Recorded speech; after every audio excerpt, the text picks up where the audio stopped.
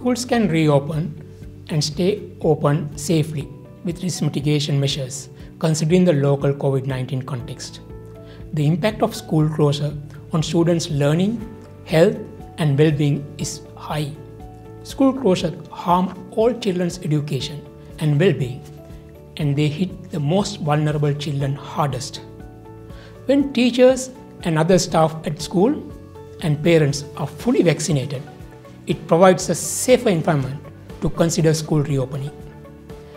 Help schools reopen and stay open by doing it all to reduce COVID 19 transmission. Keep a safe distance, wear a mask, open windows and doors to ventilate classrooms and common areas.